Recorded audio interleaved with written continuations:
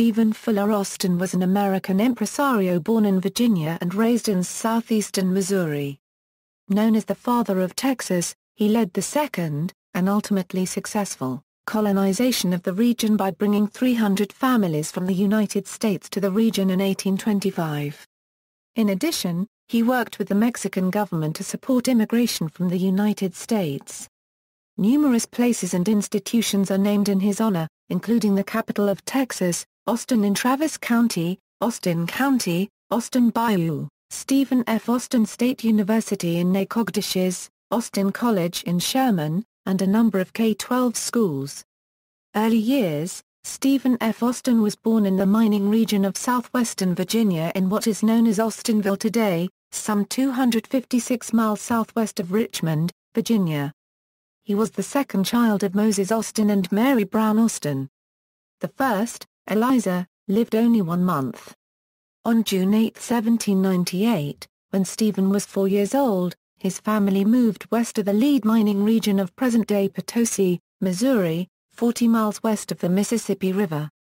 His father Moses Austin received a sitio from the Spanish government for the mining site of Mina Breton, established by French colonists. When Austin was 11 years old, his family sent him back east to be educated, first at the preparatory school of Bacon Academy in Colchester, Connecticut, and then at Transylvania University in Lexington, Kentucky, from which he graduated in 1810. After graduating, Austin began studying to be a lawyer. At age 21, he served in the legislature of the Missouri Territory. As a member of the territorial legislature, he was influential in obtaining a charter for the struggling Bank of St. Louis. Left penniless after the Panic of 1819, Austin decided to move south to the new Arkansas Territory. He acquired property on the south bank of the Arkansas River, in the area that would later become Little Rock. After purchasing the property, he learned the area was being considered as the location for the new territorial capital, which could make his land worth a great deal more. He made his home in Hempstead County, Arkansas. Two weeks before the first Arkansas territorial elections in 1820, Austin declared his candidacy for Congress. His late entrance meant his name did not appear on the ballot in two of the five counties, but he still placed second in the field of six candidates. He was later appointed as a judge for the First Circuit Court. Over the next few months, Little Rock did become the territorial capital, but Austin's claim to land in the area was contested, and the courts ruled against him. The Territorial Assembly reorganized the government and abolished Austin's judgeship. Austin left the territory, moving to Louisiana. He reached New Orleans in November 1820, where he met and stayed with New Orleans lawyer and former Kentucky Congressman Joseph H. Hawkins and made arrangement to study law. Moving to Texas. During Austin's time in Arkansas, his father traveled to Spanish Texas and received an empresarial grant that would allow him to bring 300 American families to Texas called the Old 300. Moses Austin caught pneumonia soon after returning to Missouri. He left his empresario grant to his son Stephen. Though Austin was reluctant to carry on his father's Texas venture, he was persuaded to pursue the colonization of Texas by a letter from his mother, Mary Brown Austin written two days before Moses Austin died. Austin boarded the steamer Beaver and departed to New Orleans to meet Spanish officials led by Erasmo Seguin.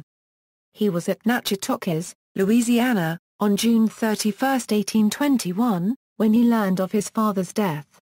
This news has affected me very much, he was one of the most feeling and affectionate fathers that ever lived. His faults I now say, and always have, were not of the heart. At the age of 24, Austin led his party to travel 300 miles in four weeks to San Antonio with the intent of reauthorizing his father's grant, arriving on August 12. While in transit, they learned Mexico had declared its independence from Spain, and Texas had become a Mexican province rather than a Spanish territory. Jose copyright Antonio Navarro, a San Antonio native with ambitious visions of the future of Texas, befriended Stephen F. Austin, and the two developed a lasting association. Navarro, proficient with Spanish and Mexican law, assisted Austin in obtaining his empresario contracts. In San Antonio, the grant was reauthorized by Governor Antonio Maria Martinez, who allowed Austin to explore the Gulf Coast between San Antonio and the Brazos River to find a suitable location for a colony. As guides for the party, Manuel Becerra, along with three Aranama Indians, went with the expedition. Austin advertised the Texas opportunity in New Orleans, announcing that land was available along the Brazos and Colorado rivers. A family of a husband, wife and two children would receive 1,280 acres at 12.5 cents per acre. Farmers could get 177 acres and ranchers 4,428 acres. In December 1821, the first U.S. colonists crossed in the granted territory by land and sea, on the Brazos River in present-day Brazoria County, Texas. Empresario Austin Austin's plan for an American colony was thrown into turmoil by Mexico's gaining independence from Spain in 1821.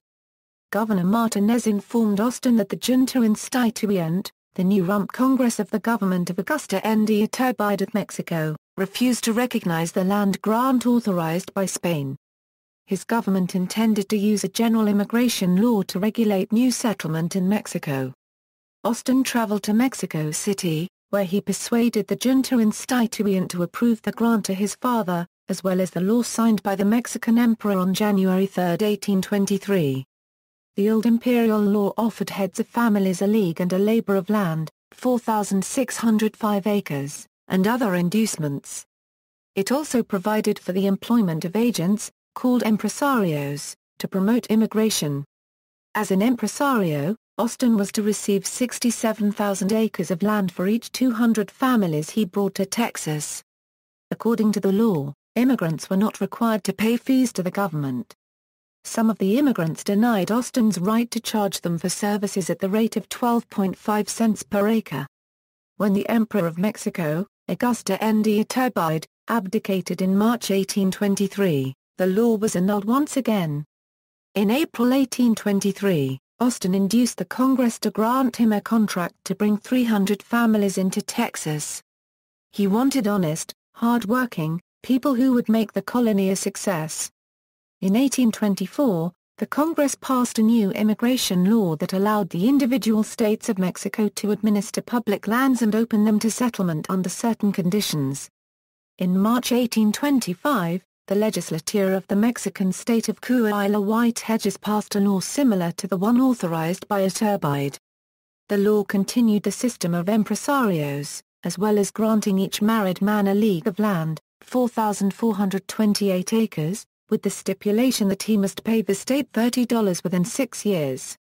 By late 1825, Austin had brought the first 300 families to his settlement, the Austin Colony. These 300 are now known in Texas history as the Old 300. Austin had obtained further contracts to settle an additional 900 families between 1825 and 1829. He had effective civil and military authority over the settlers, but he was quick to introduce a semblance of American law. The Constitution of Coahuila y Tejas was agreed on in November 1827. Also, Austin organized small, informal armed groups to protect the colonists, which evolved into the Texas Rangers. Despite his hopes, Austin was making little money from his endeavors. The colonists were unwilling to pay for his services as empresario and most of his revenues were spent on the processes of government and other public services. During these years, Austin, a member of Louisiana Lodge No. 111 at St. Genevieve, Missouri, sought to establish Freemasonry in Texas. Freemasonry was well established among the educated classes of Mexican society. It had been introduced among the aristocracy loyal to the House of Bourbon, and the conservatives had total control over the order. By 1827, Americans living in Mexico City had introduced the United States York Rite of Freemasonry as a liberal alternative to the established European-style Scottish Rite. On February 11, 1828, Austin called a meeting of Freemasons at San Felipe to elect officers and petition the Masonic Grand Lodge in Mexico City for a charter to form a lodge. Austin was elected worshipful master of the new lodge. Although the petition reached Matamoros, and was to be forwarded to Mexico City, nothing more was heard of it. By 1828, The ruling faction in Mexico was afraid the liberal elements in Texas might try to gain their independence. Fully aware of the political philosophies of American Freemasons, the Mexican government outlawed Freemasonry on October 25, 1828. In 1829, Austin called another meeting, where it was decided that it was impolitic and imprudent, at this time, to form Masonic lodges in Texas. He was active in promoting trade and currying the good favor of the Mexican authorities, aiding them in the suppression of the Fredonian Rebellion of Hayden Edwards. Some historians consider the Fredonian Rebellion to be the beginning of the Texas Revolution. Although premature, the Fredonian Rebellion sparked the powder for later success. For this event, Austin raised troops to fight with Mexican troops against the Texas rebels. With the colonists numbering over 11,000 by 1832, they were becoming less amenable to Austin's cautious leadership, and the Mexican government was also becoming less cooperative. It was concerned with the growth of the colony and the efforts of the U.S. government to buy the state from them. The Mexican government had attempted to stop further U.S. immigration as early as April 1830, but Austin's skills gained an exemption for his colonies. He granted land to immigrants based on 640 acres to the husband, 320 to the wife, 160 for every child, and 80 for every slave. Relations with Mexico the application of the immigration control of the introduction of tariff laws had done much to dissatisfy the colonists, peaking in the Anahuac disturbances. Austin became involved in Mexican politics, supporting the upstart Antonio Lopez de Santa Anna. Following the success of Santa Anna, the colonists sought a compensatory reward, proclaimed at the Convention of 1832 a Euro resumption of immigration, tariff exemption, separation from Coahuila, and a new state government for Texas. Austin did not support these demands. He considered them ill-timed and tried his hardest to moderate them. When they were repeated and extended at the Convention of 1833, Austin traveled to Mexico City on July 18, 1833, and met with Vice President Valentin Gomez Farias. Austin did gain certain important reforms. The immigration ban was lifted, but a separate state government was not authorized. Statehood in Mexico required a population of 80,000, and Texas had only 30,000. Austin was arrested by the Mexican government in January 1834 in Saltillo, Coahuila, Mexico under the belief that he was pushing for Texas independence, and was suspected of trying to incite insurrection. He was taken to Mexico City and imprisoned. No charges were filed against him as no court would take jurisdiction. He was moved from prison to prison. He was released under bond in December 1834 and required to stay in the federal district only. He was fully freed under the general amnesty in July 1835 and in August 1835 left Mexico to return to Texas via New Orleans. Texas Revolution, in his absence, a number of events propelled the colonists toward confrontation with Santa Anna's centralist government. Austin took temporary command of the Texan forces during the siege of Bar Copyright Czar from October 12 to December 11, 1835. After learning of the disturbances at Anahuac and Velasco in the summer of 1835, an enraged Santa Anna made rapid preparations for the Mexican army to sweep Anglo settlers from Texas. War began in October 1835 at Gonzales. The Republic of Texas, created by a new constitution on March 2, 1836, won independence following a string of defeats with the dramatic turnabout victory at the Battle of San Jacinto on April 21, 1836, and the capture of Santa Anna the following morning. He was then imprisoned. Austin in the Republic of Texas, in December 1835, Austin, Branch Archer, and William H. Wharton were appointed commissioners to the U.S. by the Provisional Government of the Republic. On June 10, 1836, Austin was in New Orleans, where he received word of Santa Anna's defeat by Sam Houston at the Battle of San Jacinto. Austin returned to Texas to rest at Peach Point in August. On August 4, he announced his candidacy for President of Texas. Austin felt confident he could win the election until two weeks before the election, when on August 20, Houston entered the race. Austin wrote, many of the old settlers who are too blind to see or understand their interest will vote for him. Houston carried East Texas, the Red River region, and most of the soldiers' votes. Austin received 587 votes to Sam Houston's 5,119 and Henry Smith's 743 votes. Houston would appoint Austin as the first Secretary of State of the new republic. However, Austin served only around two months before his death. Death and estate In December 1836, Austin was in the new capital of Columbia where he caught a severe cold. His condition worsened. Doctors were called in, but could not help him. Austin died of pneumonia at noon on December 27, 1836. He was at the home of George B. McKinstry near what is now West Columbia, Texas. He was 43. Austin's last words were the independence of Texas is recognized. Don't you see it in the papers? Upon hearing of Austin's death, Houston ordered an official statement proclaiming, the father of Texas is no more.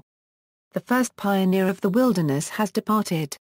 Austin was originally buried at Gulf Prairie Cemetery in Brazoria County, Texas. In 1910 Austin's body was reinterred at the Texas State Cemetery in Austin. Austin never married, nor did he have any children. He bequeathed all his land, titles, and possessions, to his married sister, Emily Austin Perry. Monuments Sherman, Texas, is the home of Austin College. Nacogdoches, Texas, is the home of Stephen F. Austin State University.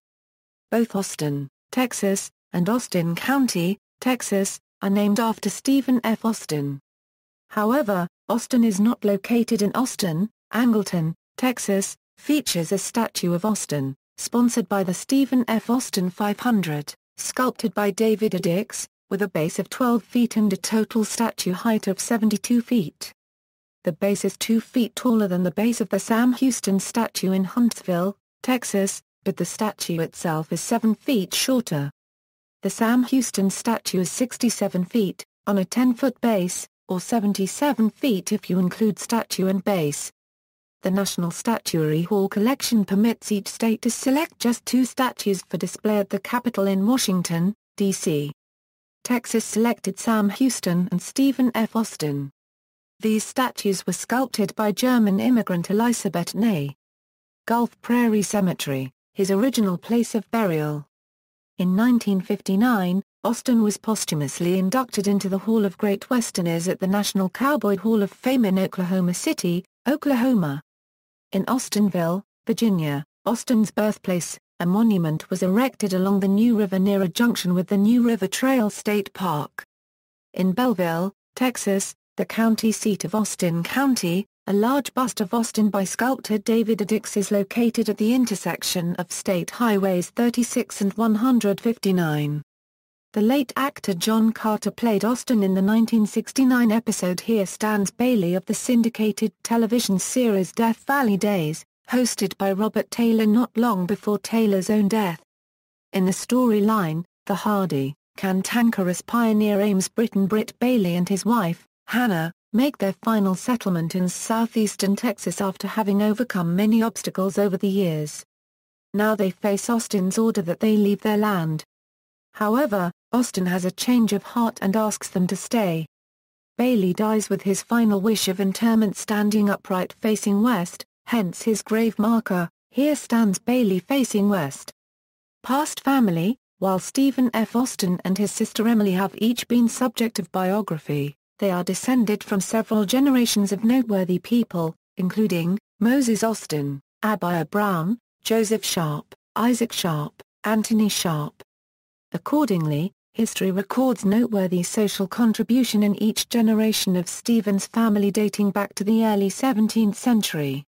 See also Moses Austin, his father, Mary Brown Austin, his mother, James Elijah Brown Austin, his brother, Emily Austin Perry, his sister, Abiah Brown, his maternal grandfather, Joseph Copyright Mara Jesus Escobeja mentored by Austin, Joseph Sharp, great-grandfather. Isaac Sharp, his great-great-grandfather, Anthony Sharp, his great-great-great-grandfather, Peach Point Plantation, his residence, Jones Creek, site of his residence, Thomas J. Pilgrim, his friend and Spanish interpreter, James Bryan, his brother-in-law, James Franklin Perry, his brother-in-law, list of notable Freemasons, OPQ letters.